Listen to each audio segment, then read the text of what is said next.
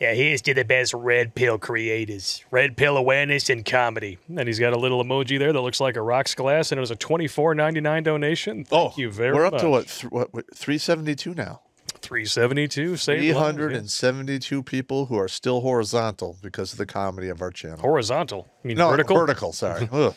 Well, they might be horizontal right now. You know, tie tie hooker on top. You know, Yeah. got their phone in their hand, Oh. watching the show. Did you know that down as it in uh, as it Sweden, Yeah. they're actually take trying to take steps to limit their men from marrying women from Thailand. Why? I'll give you one guess. Because they're not feminist. Correct. The number has the number has increased threefold since 2007. Wow, no wonder they put out those freaking commercials in in these, you know, open borders countries encouraging their women to, to start banging the migrants. Yeah, It's because that's the only way that's going to happen for them. yeah. I That's mean, I don't blame them. I mean, who who wants to like you know be well be married to a knuckle dragon you know Swedish cow? I got nothing. You know, I mean, I've seen a lot of Swedish women and they look pretty good. Yeah. But still, uh, you know, the divorce rate is like a fifty-five percent. Yeah. That's just right out of the gate, and then the divorce rate for these men who marry these these Thai chicks is fifteen percent. See, that, that right there speaks for itself. That's a huge difference, man. Huge difference.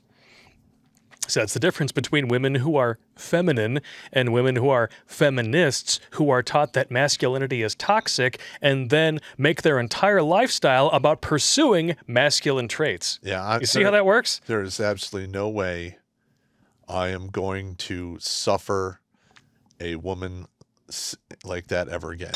It's never going to happen. And plus, Swedish porn is just a huge turnoff. Oh yeah, oh yeah. Yeah, have you oh, noticed that? yeah. I don't I, like. Okay, remember when we were kids, and you used to like wait till your parents went to sleep and turn on like one of the the wavy line channels, Oh yeah, just spice, spice. just so you could get two seconds of titties. that was a good day for you.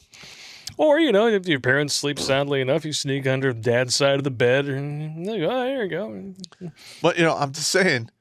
Now we're become so spoiled to it. Like i- if it's Oh, yeah. if it's another language, forget it. No sound, forget it. Forget it. you know, if I don't see certain camera angles, forget it. Some of the camera angles, definitely forget it. Yeah, I mean, I, I literally, I'll be like, yeah, it's just so stupid. Yeah, yeah, yeah. Watch something else. I mean, I'm not 16 anymore, but I'm just saying. Uh, Like, uh, some of it is just like, oh, it's a dude's butthole. Yeah, turn it off, turn it off. Oh, oh! What do they call that? Brown eye vision? ah, Sack cinematography? sackalack attack. Sackalek. Bootstraps and succotash. the fuck? oh my god, boot Well, traps. What, what do you expect when you get ass blasters from outer space? I mean, come on. That would actually be funny for a good a, a comedy uh, skit porno thing. Like, bootstraps and succotash. It's some old dude with like this incredibly long leathery sack.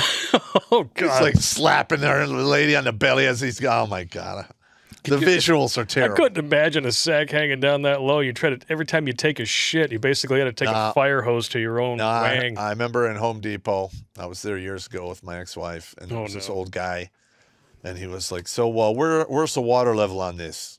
And the guy's like, uh, "I don't know why." He goes, "I needed to have a low water level because I'm tired of my my nuts hitting the water in the middle of the night when I sit down." I left my balls out. Like, oh my god! I would have laughed my ass off. Too. Oh. I, I, Oh, I could not help it. I could not help it. I instantaneously just started laughing. Ooh, that's amazing. And my ex-wife was like, "Come on, shut up, shut up, stop laughing." I'm like, I just couldn't. I couldn't. I couldn't stop laughing. Watch Grunt Speak live every Tuesday and Thursday at 8 p.m. Eastern and bring the strong stuff.